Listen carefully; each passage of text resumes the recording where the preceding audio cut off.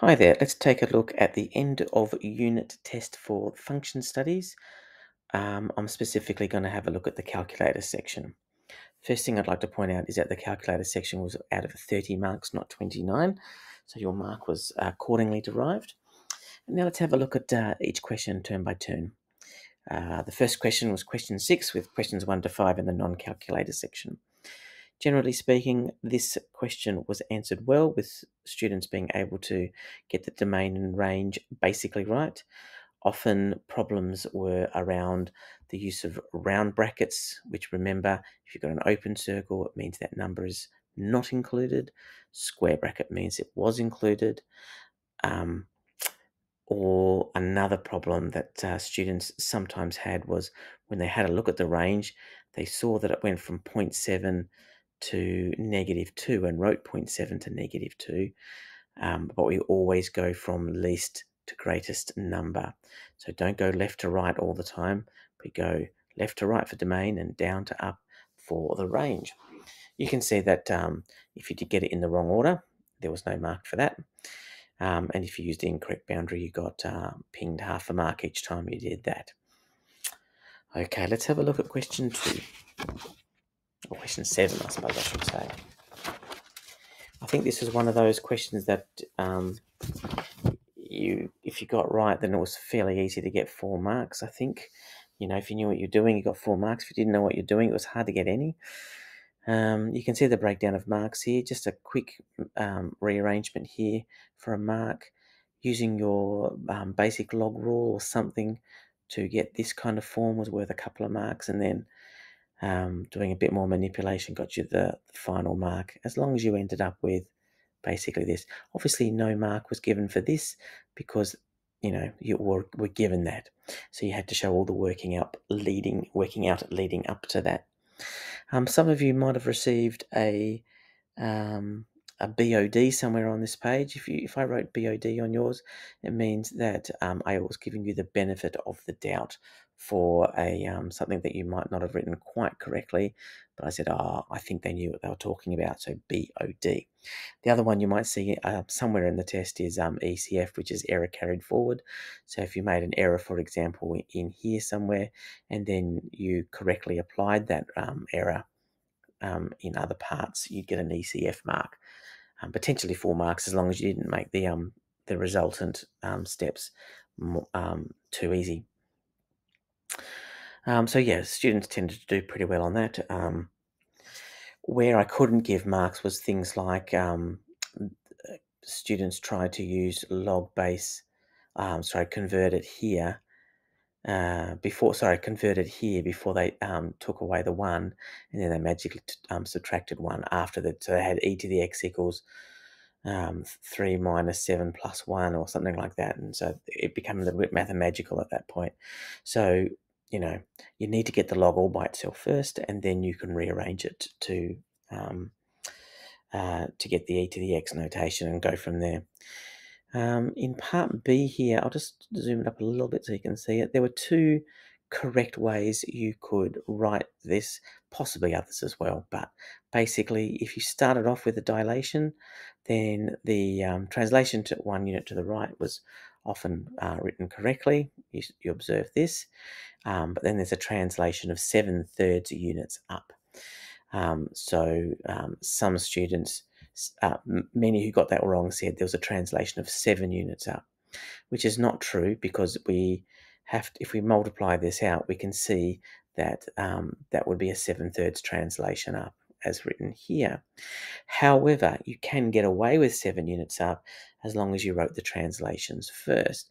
So just to show you what I mean, uh, number one, translating once to the right. Number two, translating seven units up. So you've gone up seven units.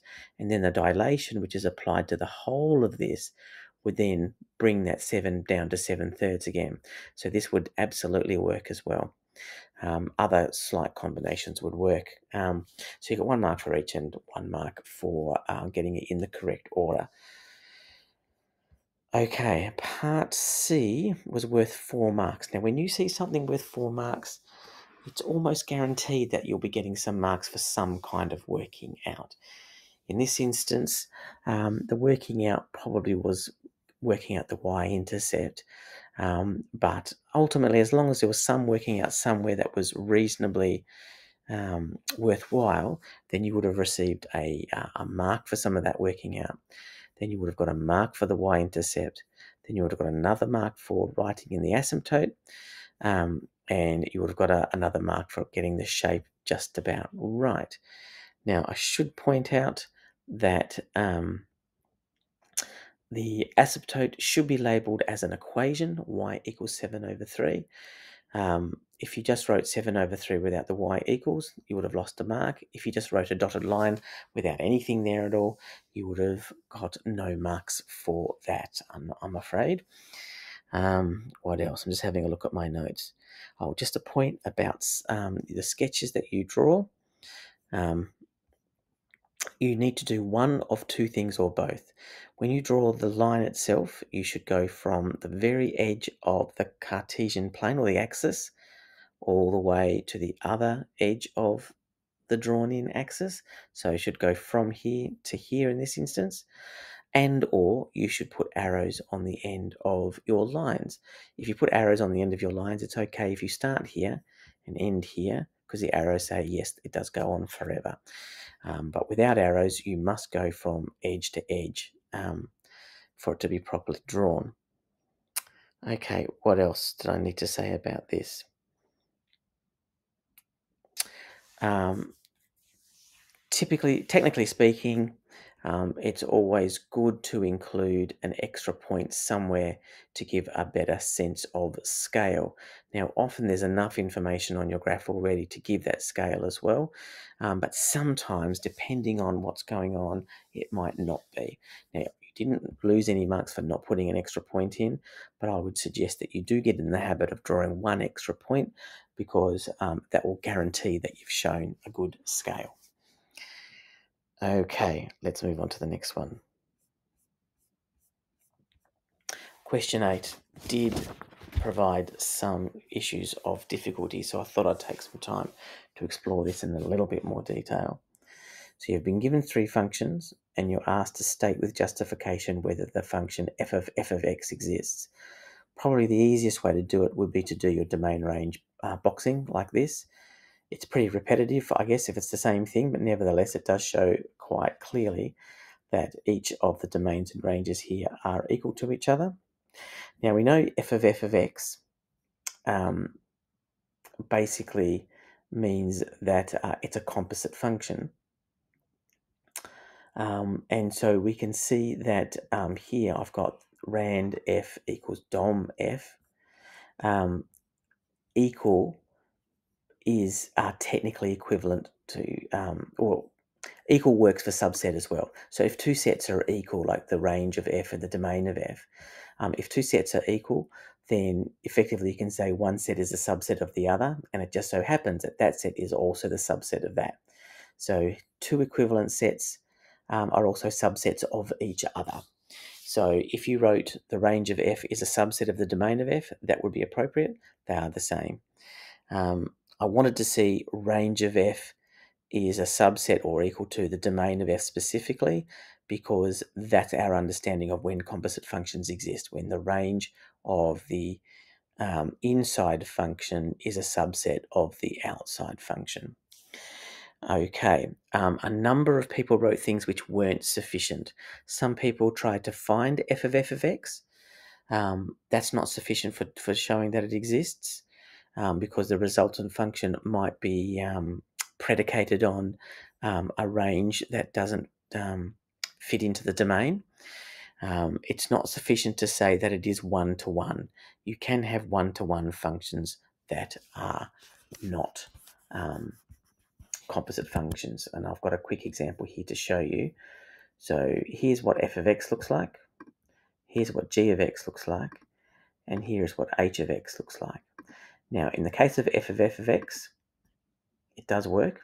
It just so happens that f of x happens to be self-invertible, which means if we take f of f of x, we get a straight line y equals x. It just so happens.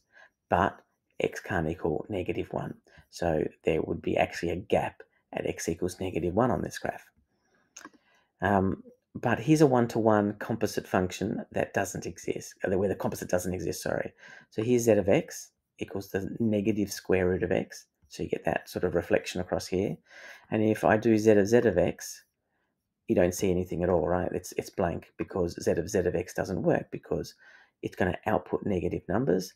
And then when a negative number is input back into z of x, it's not going to, you know, you can't take the square root of a negative number and get a real result.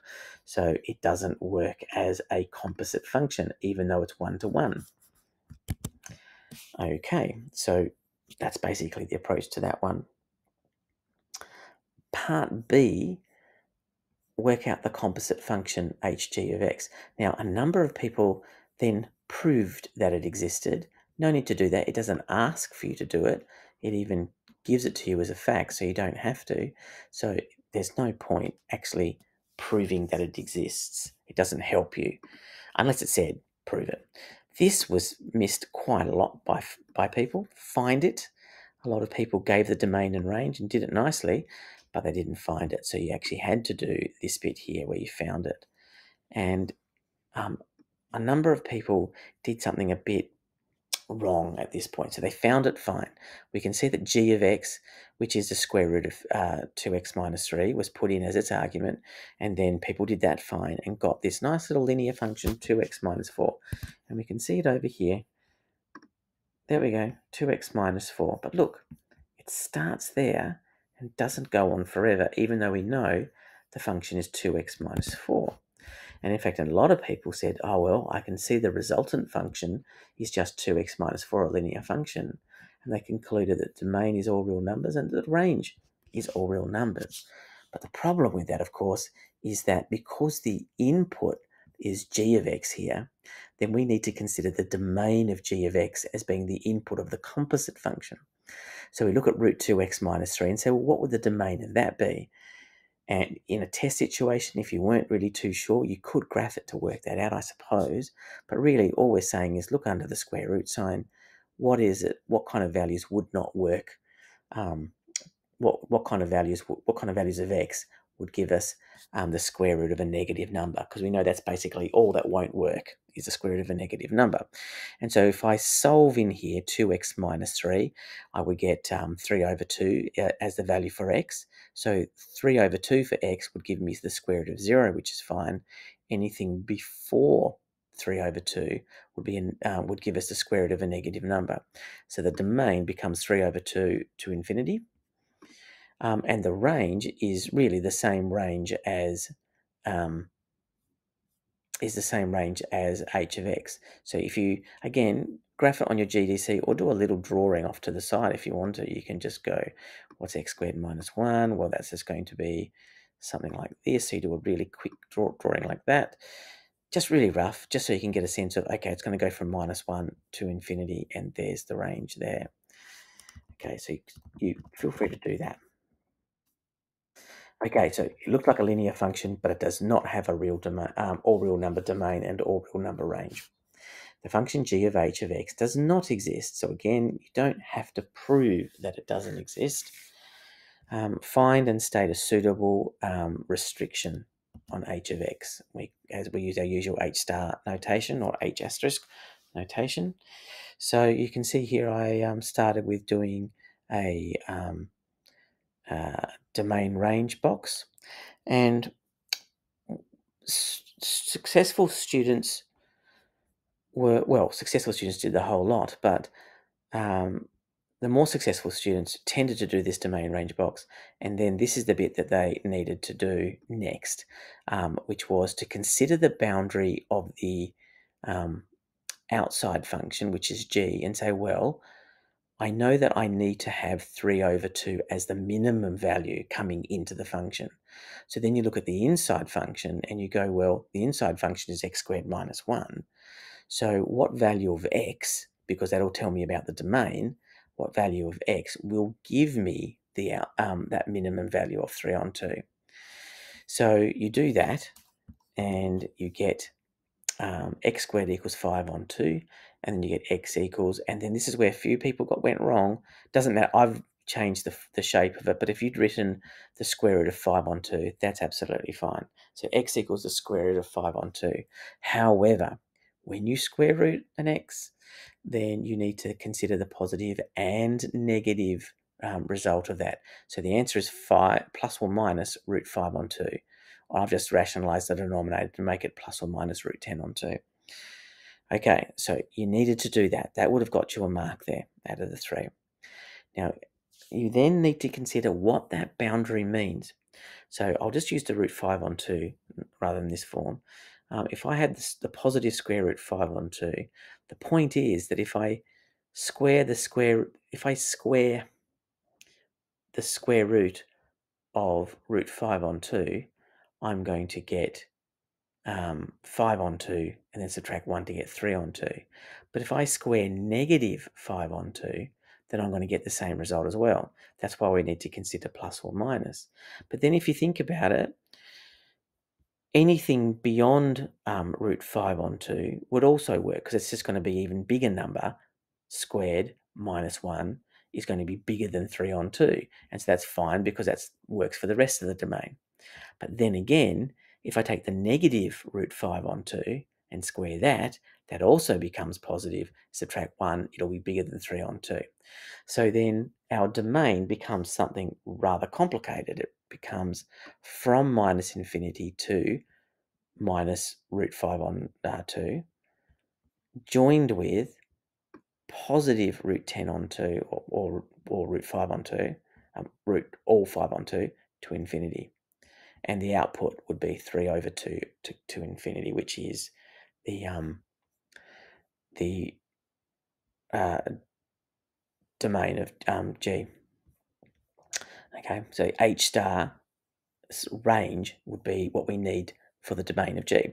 So there we go. Or in um, in our other notation, we can say x is all real numbers as long as x is less than negative um, uh, root 10 on 2 or, or the square root of um, 5 on 2 um, or x has to be greater than so you just got to go that or that. There's some people did um, a bunch of other notations um, but you really can't use those um, use different notations um, like they kind of went x is greater than negative root 10 on 2 or root 5 on 2 whatever. I'm just using my whiteboard my my mouse here, so it's not very good.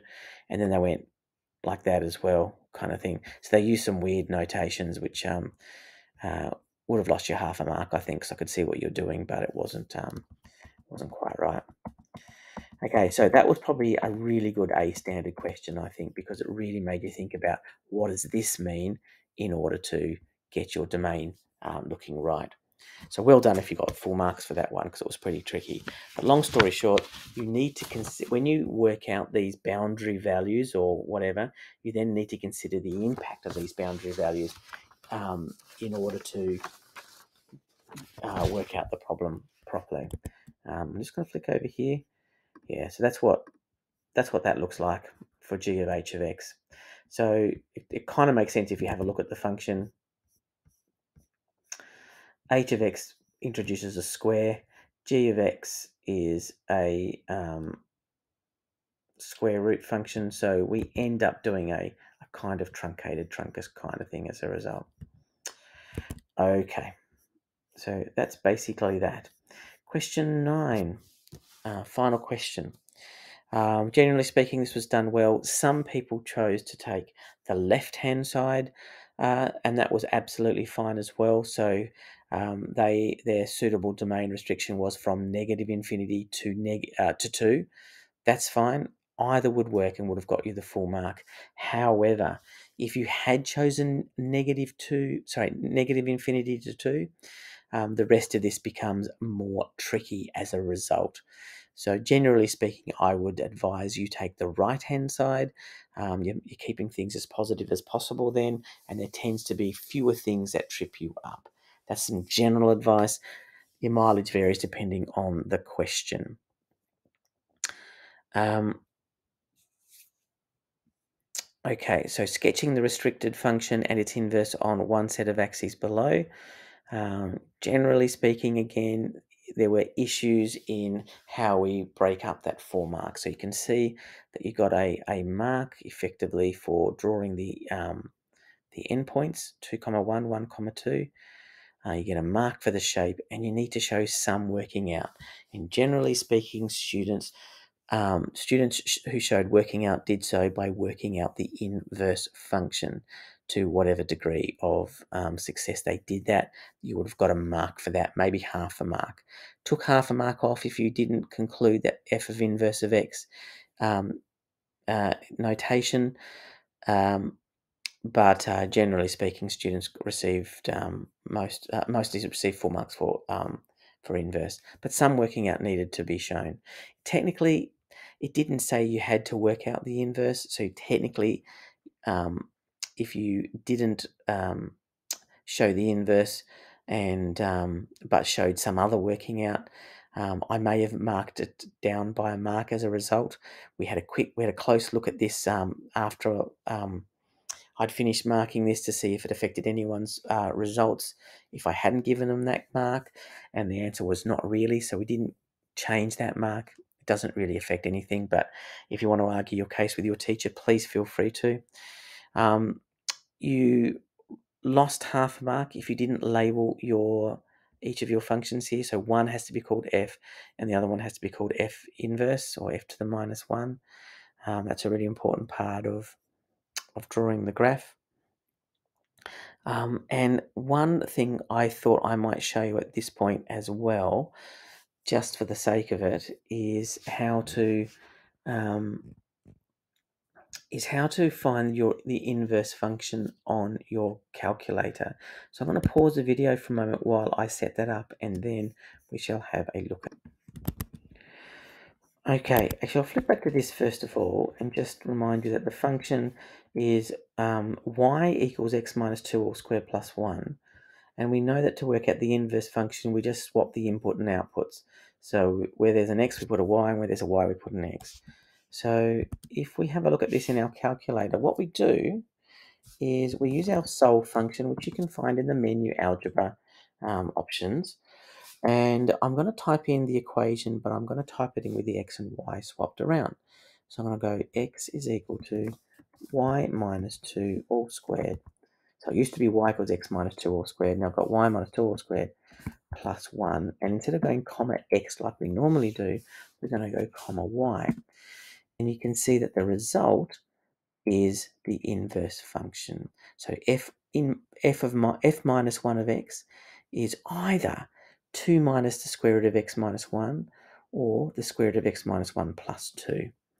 Now you can see the difference between these two is this has a negative outside the square root of x minus 1 and this is positive here.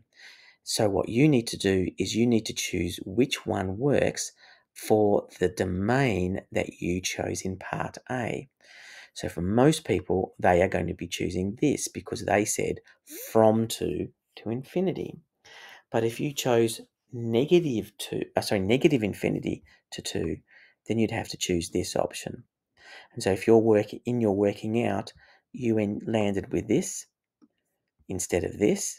When you chose the left-hand side, negative infinity to 2, you'd lose half a mark for that, for not choosing the right function. Your working out's not quite right. Okay, the other thing I should point out as well is this. This is the original function, f of x equals x minus 2 all squared. If I choose a, a, domain, a domain restriction to the right, then I'm picking that bit there in blue. So I'll turn that off. And so the inverse looks like that.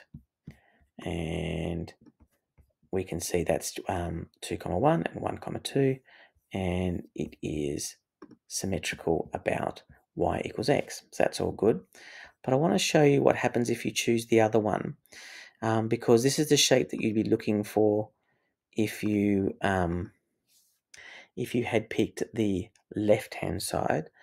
Um, the left hand side looks like this. So this is negative infinity to 2. And then when you inverted it, you would have to have done that. And is going through y equals x as well. So that's what you need to be careful of is that if you choose a particular domain restriction, your graphs must reflect that domain restriction. Otherwise, you won't get the right marks for the um, for getting the shape right because you haven't. This is also an example of where the points of intersection are, are not always on y equals x. 99% of the time, they are on y equals x. But occasionally, like this one, the circumstances are such that there are other points of intersection that are not on y equals x. There's one there and there's one there. But there will, will be points of intersection. If they exist, there will be points of intersection on y equals x as well. Keep that in, in mind when we look at the next question. And the final one, which is part C, calculate the point of intersection between the two graphs. Now, many, many, many, many of you went x minus y all squared plus 1 is equal to, and then um, I don't have it written on this sheet, but, and then wrote the um, the f inverse on the other side, which was um, x, the square root of x minus 1 plus 2. So many of you wrote that, and in a calculator section, it actually doesn't matter. Um, you put it into your calculator, and you'll get some values out, and you need to pick the value which suits the domain. In this case, x equals 3.618. If you'd chosen the negative um, side, then there would have been three values that would have been appropriate, and all three would need to be um, written down. It is an edge case though doing it that way. So just a reminder then, particularly if this was in a non-calculator section, not so much of a drama for the calculator section, um, you can go pick whatever function you think is easiest to deal with, set it equal to x, and solve that value and you'll get whatever the point of intersection is that exists on y equals x. It's a very safe bet. It's very unusual to have a point of intersection that is not on y equals x. By the way, it's only worth two marks, so you don't have to overdo it. Effectively, you got one mark for um, showing us that you understand that you need to set one of the equations equal to the other equation or equal to x. Um, you can see I've done some working out here. Um, I err on the side of putting a bit more working out than maybe um, the mark is going to give marks for. Um, just just a little bit more, just so that you can guarantee that you're going to get those full marks. Um, but effectively, at some point, whether it's here or here, you're going to use the solve function on your calculator in order to get the value that we're looking for. In this case, 3.618, or root 5 plus 5 on 2 and then effectively you did need to get make sure that your point of intersection had the x and the y value the same assuming your you know your point was on the um, y equals x line. So note that i only worked out x. I didn't then substitute it in to work out what y is because i knew it was going to be on um, the y equals x line so that means the x and the y coordinate would be the same so one mark there and one mark there you would have lost half a mark i think if you had these two values different for whatever reason Okay, that's it. Any further questions you have on the uh, calculator section, please don't hesitate to find me and ask me, or just ask your teacher and they'll be able to figure it out for you.